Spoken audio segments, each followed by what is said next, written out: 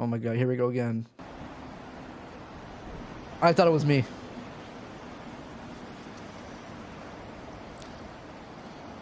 My day consisted of back at home is just wake up, get high, play Val for an hour, go out, get high, come back, play more Val, go back out, get high.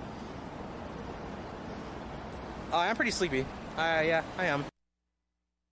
You guys are so fucking annoying saying like I'm like this guy. Like